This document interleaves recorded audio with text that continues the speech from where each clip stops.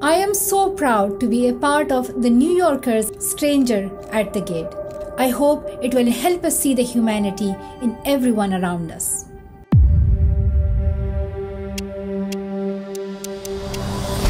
My dad calls my mom the Mother Teresa of the Muslim community, and it's definitely true. It was a little scary. You know, he thought he was doing the right thing. He was at war with Muslims in his mind. That was the time I invited him over for dinner. He didn't know anything better.